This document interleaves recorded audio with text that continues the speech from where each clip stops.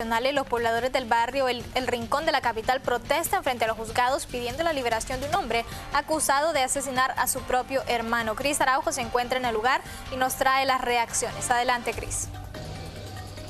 Gracias, muy buenas compañeros a todos los televidentes de Acción BTV cara a cara con la noticia. Bueno, a esa hora nos hemos trasladado hasta las afueras de los juzgados capitalinos y bueno, vamos a dialogar con algunos de los campesinos que se han, bueno, que han llegado hasta aquí a ese lugar por el caso. Eh, hemos escuchado hace algunos días de que eh, suponen responsable a un hermano que mató, que mató por supuesto a su propio hermano, pero vamos a dialogar con ellos para ver qué opinan acerca de ese caso. Muy buenas, ¿cuál es su nombre?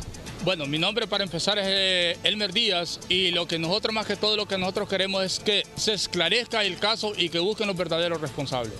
Así es, bueno, ¿desde qué hora están ustedes y no van a bajar la guardia hasta esclarecer ese, ese crimen que supuestamente, bueno, ese joven mató a su propio hermano? Así es, nosotros venimos desde las 9 de la mañana porque supuesta, a las 8 y media porque supuestamente a las 9 de la mañana era la audiencia, ahorita dicen que era a las 10 y tenemos 10 y media y no han venido, entonces Aquí vamos a estar al pie de la guardia y créanlo que si este caso no esclarece, vamos a la toma de carretera. También tenemos aquí a otro joven. ¿Cuál es su nombre y qué están pidiendo ustedes? Jaime Ponce. Nosotros lo que queremos es que se esclarezca este caso y que de verdad castigan los verdaderos culpables, porque ellos son inocentes, como su propio hermano va a querer matar a su propio hermano. Ellos andaban dejándole un dinero, el finadito, que tanto lo rogó, su hermano no quería ir a esa colonia, pero él lo rogó y lo rogó y le dijo, tú tienes hijos, hermano, ayúdame. Entonces iba a dejarle un dinero a su hija, se llama Andrea. La niña iba a dejarle 500 lempiras, pero ellos más no sabían que ahí los estaban esperando una emboscada y le ha quitado la vida a nuestro compañero que tenemos aquí al frente, Braulio Aldubín López. Y él no era culpable, era un compañero más de una organización vía campesina y lo que queremos es libertad para ellos dos. Y le exigimos los derechos humanos también que por favor los ayuden a investigar este crimen para que él no quede en la impunidad como muchos crímenes que han quedado. Gracias. Eh, bueno, en ese momento, compañeros, ustedes pueden observar que, bueno, en ese momento están, están llegando.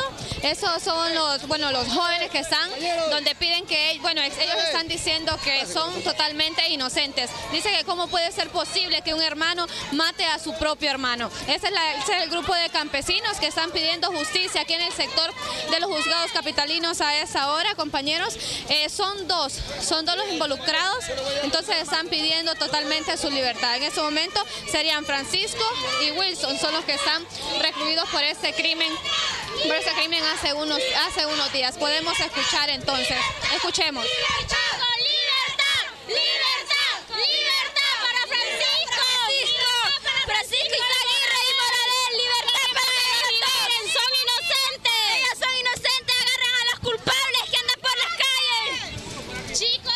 está ocurriendo aquí en los juzgados capitalinos.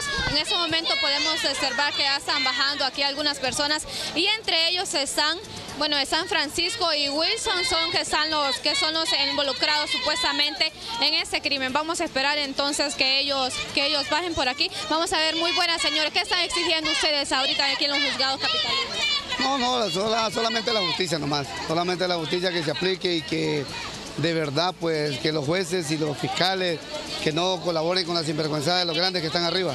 Así es, en ese momento ellos vienen en ese bus. Se, se les puede decir que ellos vienen ahí porque la audiencia era a las 10 de la mañana y estamos pasados de la hora.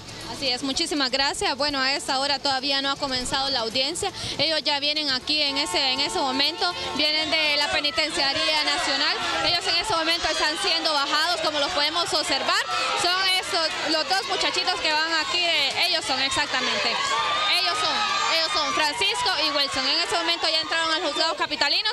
Con estas imágenes yo retorno con ustedes a los estudios principales de Acción BTV, cara a cara con la noticia. En otra emisión estaremos diciéndoles qué ha ocurrido con estos jóvenes en esta audiencia. Con ustedes, compañeros, a los estudios. Muy buenas tardes.